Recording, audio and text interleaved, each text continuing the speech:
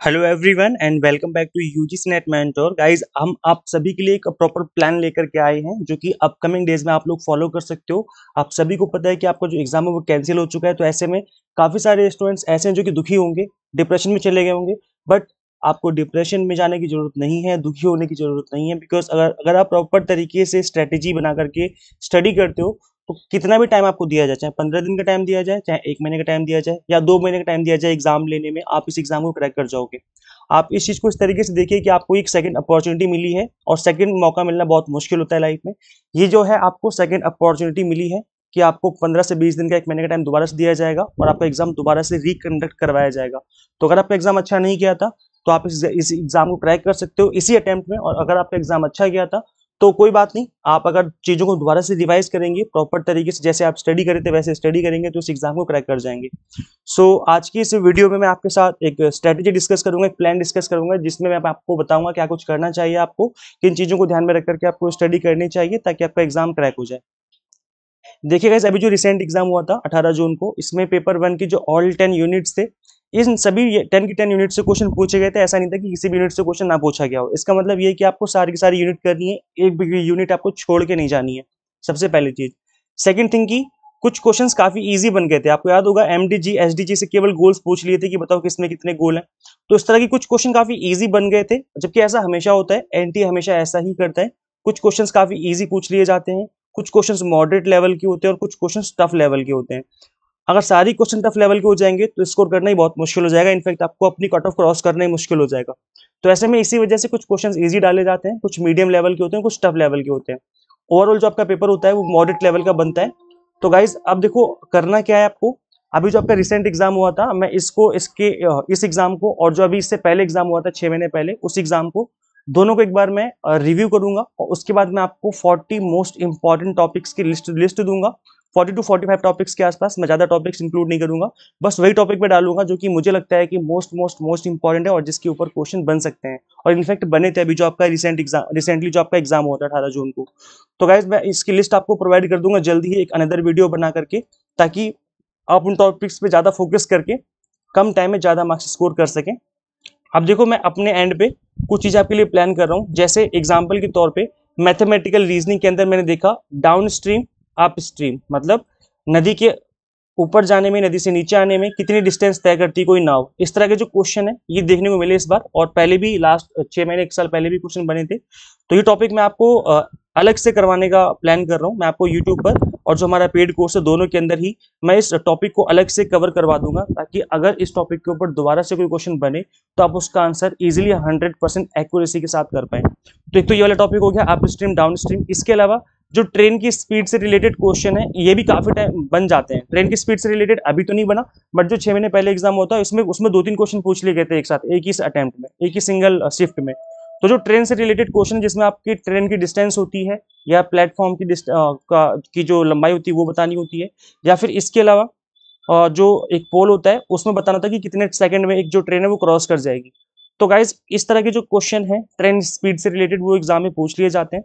तो mathematical reasoning के अंदर आपको करना है, एक डाउन स्ट्रीम एंड एक अप स्ट्रीम करना है। इसके अलावा परसेंटेज से रिलेटेड क्वेश्चन करने हैं। परसेंटेज से रिलेटेड काफ़ी सारे क्वेश्चन पूछे गए थे।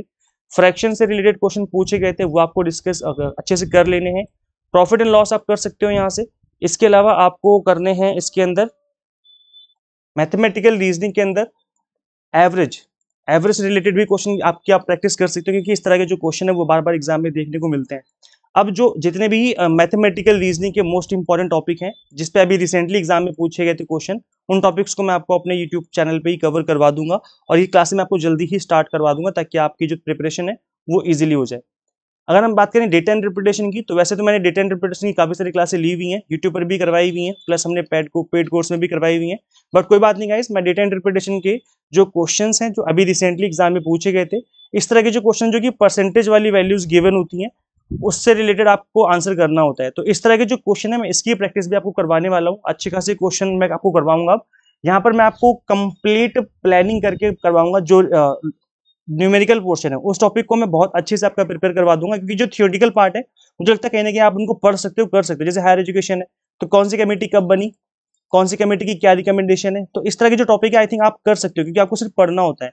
जो न्यूमेरिकल पोर्शन जैसे डेटा इंटरप्रिटेशन हो गया लॉजिकल रीजनिंग हो गया। लॉजिकल रीजनिंग के अंदर आपने देखा अल्फ़ाबेट सीरीज़ से रिलेटेड क्वेश्चन पूछा गया था अभी। तो इस तरह का जो टॉपिक है, वो मैं आपको प्रैक्टिस करवा दूँगा। मैथमेटिकल रीजनिंग के अंदर की जो टॉपिक्स हैं, जो मुझे लगता है मोस्ट इंपॉर्टेंट है, उनकी प्रैक्टिस मैं आपको करवा दूँगा अच्छे से। तो इस तरह के जो क्वेश्चन है, उनकी प्रैक्टिस मैं आपको अच्छे से करवाने वाला हूँ। इसके अलावा रिसर्च एप्टीट्यूड के अंदर अगर आप देखेंगे तो रिसर्च एप्टीट्यूड के अंदर सैम्पलिंग से रिलेटेड क्वेश्चन बनते हैं, और अभी बना भी था। Random sampling non random sampling से रिलेटेड क्वेश्चन पूछा गया था प्रोबेबिलिटी नॉन प्रोबेबिलिटी सैम्पलिंग से रिलेटेड क्वेश्चन पूछा गया था। तो एक बार इसको मैं आपको रिवाइज करवा दूँगा। इसके अलावा गाइज़ रिसर्च एप्टीट्यूड के अंदर मैंने देखा है कि जो शॉर्ट्स जो शॉर्ट फॉर्म होते हैं, उस पर क्वेश्चन पूछ लिए जाते हैं। जैसे पीटीओ करके होता है है ना? या बिब्लियोग्राफी करके होता है। तो यहाँ पर जो इस तरह के डॉट करके आपके शॉर्ट्स वर्ड्स गिवर होते हैं, इनकी मीनिंग बतानी थी कि इनका क्या मतलब है। तो इसकी कंप्लीट लिस्ट बना करके मैं आपको एक बार गो थ्रू करवा दूँगा, ताकि रिसर्च एप्टीट्यूड से अगर इस तरह का को, कोई क्वेश्चन बने तो आप उसका आंसर इजीली कर पाए। ठीक है, समझ में आ गया? इसके अलावा पीपल डेवलपमेंट इन्वायरमेंट की अगर हम बात करें तो इसके अंदर पॉल्यूशन से रिलेटेड क्वेश्चन पूछा गया था अभी रिसेंटली जो एग्ज़ाम हुआ था, और स्पेशली एयर पॉल्यूशन से रिलेटेड ज़्यादातर क्वेश्चन बनते हैं एयर पॉल्यूशन या फिर वाटर पॉल्यूशन मोस्टली क्वेश्चन यहीं से पूछे जाते हैं। एयर पॉल्यूशन में पूछ लेंगे कौन सी बीमारी होती है, कौन सी बीमारी कौन से हमारे बॉडी पार्ट में होती है, इस तरह का क्वेश्चन बन जाता है। या कौन सी गैस जो है वो किस तरह का पॉल्यूशन क्रिएट करती है हवा में? तो इस तरह के क्वेश्चन बन जाते हैं गाइस इसको, इसकी मैं आपको प्रैक्टिस करवा दूँगा, एक बार गो थ्रू करवा दूँगा इस तरह के जो टॉपिक है। इसके अलावा वाटर पॉल्यूशन भी हम लोग अपन डिस्कस कर लेंगे कि भाई वाटर पॉल्यूशन के अंदर किस तरह की जो पॉल्यूशन है वो पाए जाते हैं और किन की चीज़ों से मिलने के बाद इस तरह के जो पॉल्यूशन है वो हो जाते हैं। इसके अलावा गाइज़ देखो नेशनल एजुकेशन पॉलिसी 2020 पे क्वेश्चन अभी रिसेंटली जो एग्ज़ाम हुआ उसमें पूछा नहीं गया था। बट अब मुझे लग रहा है कि जब दोबारा एग्ज़ाम कंडक्ट होगा तो मुझे लगता है कि इसकी इस पे क्वेश्चन पूछ लिया जाए। क्योंकि हायर एजुकेशन के अंदर काफ़ी ज़्यादा इंपॉर्टेंट टॉपिक इसको माना जाता है और I don't think I don't know कि इस बार क्यों नहीं क्वेश्चन पूछा गया इस बार इस टॉपिक के ऊपर जबकि हर बार इस टॉपिक के ऊपर क्वेश्चन पूछा जाता है। बट चलो कोई बात नहीं हम इसको एक बार दोबारा से गो थ्रू कर लेंगे।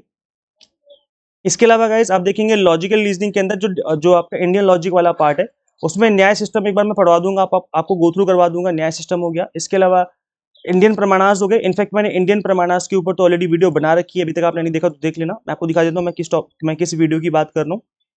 तो गाइज़ मैंने देखो कॉमर्स के लिए एक वीडियो बनाई थी, जिसमें मैंने आपको ऑल टेन यूनिट्स का एक सिंगल वीडियो में रिविजन करवाई थी। इसको भी एग्ज़ाम से पहले, जाने से पहले एक बार ज़रूर देख लेना। इसके अलावा गाइज़ मैंने आपको एक वीडियो बना करके समझाया था। मैं एक बार दिखा देता हूँ आपको। हाँ देखो मैं इस वीडियो की बात कर रहा हूँ। एक तो ये वाली वीडियो जिसमें 40 मोस्ट इंपॉर्टेंट एमसीक्यूज हमने डिस्कस किए थे नेशनल एजुकेशन पॉलिसी की, और एक ये वीडियो थी इंडियन लॉजिक के ऊपर। अब इंडियन लॉजिक को मैंने इसमें बहुत ही बेसिक से एक्सप्लेन किया हुआ है विद एग्ज़ाम्पल तो आप इस वीडियो को भी देख सकते हो जिससे आपका ये वाला जो टॉपिक है वो अच्छे से कवर हो जाएगा. सो so, ये जो चीज़ें हैं मैंने अपने यूट्यूब पर कवर करवा रखी हैं. प्लस कुछ चीज़ें ऐसी हैं जो कि मैंने नहीं कवर करवा रखी तो मैं जल्दी आपको कवर करवा दूँगा और टॉपिक्स के लोग को लेकर के मैं आ जाऊँगा. देखो आपने पहले से काफ़ी कुछ पढ़ा हुआ है. ऐसा नहीं कि आप बिल्कुल नहीं स्टडी करने जा रहे हो. आप आपने ऑलरेडी पढ़ा हुआ है बस आपको रिवाइज करने की ज़रूरत है. आपको प्रॉपर रिविजन की ज़रूरत है. अगर आप रिविजन कर लोगे ना तो उससे बात बन जाएगी आपका एग्ज़ाम क्रैक हो जाएगा. और अगर आपके अच्छे मार्क्स नहीं बन रहे थे, फिर तो ये क्या ही कहने, आपको एक सेकंड चांस मिला है। ऐसे पेपर टू है आपका, कोई सा भी पेपर टू है आपको आपको सिंपली रिवाइज करना है, आपको रिवीजन पे फोकस करना है, कितना भी टाइम आपको दिया जाए, पंद्रह दिन, बीस दिन, एक महीना, डेढ़ महीना, बस आपको रिवीजन पे फोकस करना है। एक एक एक यूनिट की रिवीजन करते जाओ और आगे बढ़ते जाओ। इससे क्या होगा, आपका जो कॉन्फिडेंस है वो बूस्ट करेगा और फिर कितना भी टाइम में एग्ज़ाम हो, चाहे एक महीने में एग्ज़ाम हो, चाहे दो महीने में एग्ज़ाम हो, आप उस चीज़ को ईजिली हैंडल कर पाएँगे। सो so गैस ये स्ट्रेटेजी आपको इस तरीके से स्टडी करनी है। और रिवीजन पे फोकस करना है बिकॉज़ मैं आपको वही अगेन कहूँगा कि रिवीजन ही आपका एग्ज़ाम क्रैक करवाएगा, क्योंकि कुछ टॉपिक ऐसे होंगे जो, जिसको कि आप अभी तक आपने सीरियसली नहीं लिया होगा तो आप, आपके पास मौका है कि आप उन टॉपिक्स को सीरियसली लेकर के इस, इसी अटेम्प्ट में इस एग्ज़ाम को क्रैक कर सकते हो। सो so गाइज़ ये वीडियो है आप सभी के लिए। इसके अलावा दिसंबर के लिए अगर आप बैच ज्वाइन करना चाहते हो तो यूजीसी नेट एग्ज़ाम को फ़र्स्ट अटेम्प्ट में क्रैक किया जा सकता है, अगर आप एग्ज़ाम टारगेटेड स्टडी करो। और दिसंबर 2024 की हम आपको एग्ज़ाम टारगेटेड बैच अवेलेबल करवा रहे हैं। तो paper one commerce management and political science सभी के कॉम्बो कोर्सेज भी अवेलेबल है तो आप उनको ज्वाइन कर सकते हो। कंप्लीट कंटेंट जो वीडियो लेक्चर्स रहेंगे इंग्लिश मीडियम हिंदी मीडियम दोनों में होंगे। हंड्रेड मॉक टेस्ट मिलेंगे प्रैक्टिस करने के लिए पीडीएफ नोट्स होंगे, जिनको डाउनलोड करके आप मल्टीपल टाइम रिविजन भी कर सकते हो। तो गैस ये आपके पास अच्छा मौका है दिसंबर 2024 के लिए बिकॉज़ अगर आप जल्दी स्टार्ट करेंगे तो आपकी कंप्लीट जो सिलेबस है, वो कवर हो जाएगा प्लस मल्टीपल टाइम आप रिवीजन भी कर पाएँगे। और रिवीजन ही आपका एग्ज़ाम क्रैक करवाता है। सो आपको करना क्या सिंपली गूगल प्ले स्टोर से एग्ज़ाम एंड और ऐप इंस्टॉल करनी है। अगर आप आई यूज़र है तो उसका लिंक भी आपको इसी वीडियो के description box and comment box में देखने को मिल जाएगा। सो so, इस वीडियो में इतना thank you so much for watching this video share this video with all experience and subscribe for UGC update and assistant professor job updates आज मिलते हैं फिर नेक्स्ट वीडियो में। Till then keep watching UGC NET mentor thank you so much